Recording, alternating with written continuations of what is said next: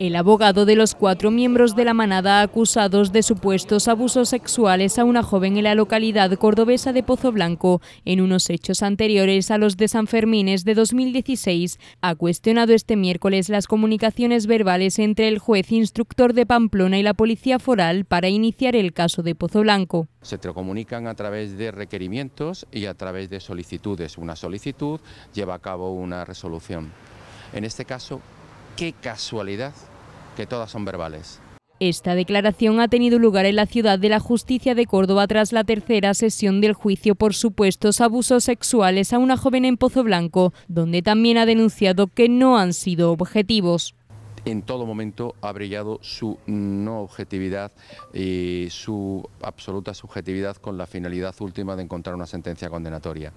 Paralelamente a este juicio, la Audiencia de Navarra ha condenado este miércoles a tres años y tres meses de prisión y 5.670 euros de multa como autores de un delito contra la intimidad a los dos acusados de la manada que grabaron siete vídeos y realizaron dos fotografías de la violación grupal ocurrida el 7 de julio de 2016 en Pamplona.